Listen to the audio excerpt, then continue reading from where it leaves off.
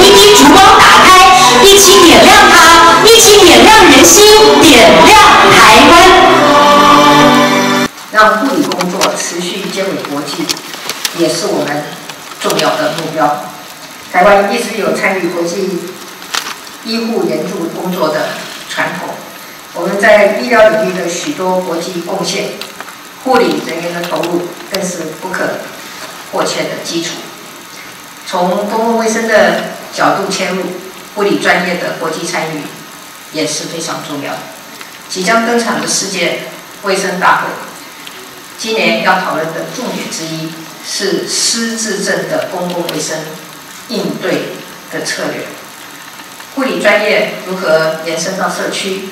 如何投入非非传染性疾病的预防、防护，已经是许多国家共同的课题。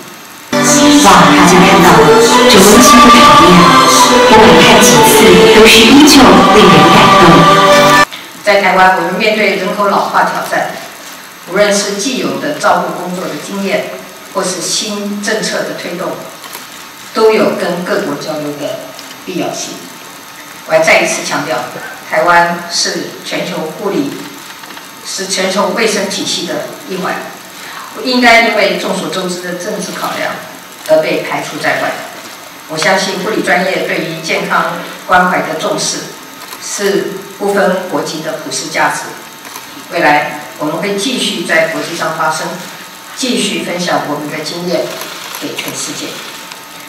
圆满成功，请全嘉宾请坐，请坐。